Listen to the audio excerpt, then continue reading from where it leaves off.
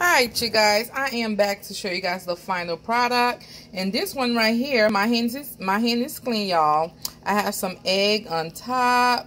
And this is the first one that I made right here. Okay, it got the sausage, so I'm gonna um, add some egg inside. And this is the second one you guys just saw earlier. Okay, this is only cheese, you guys. And the sausage inside. Oh, it's hot. It's hot, it's hot, it's hot. So I'm to add some avocado inside, add some sauce, period, hot sauce, and all that good stuff.